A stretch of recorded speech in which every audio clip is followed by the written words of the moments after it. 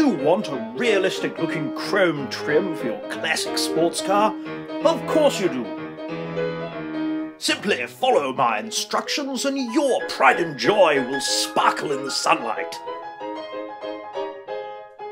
Plumber's aluminium tape can be found at your local DIY shop or on the interweb. Knives are sharp. Careful there, sir and or madam.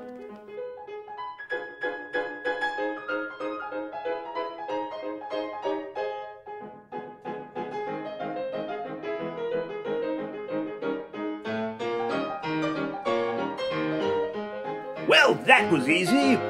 Good luck trying this at home. Tally ho!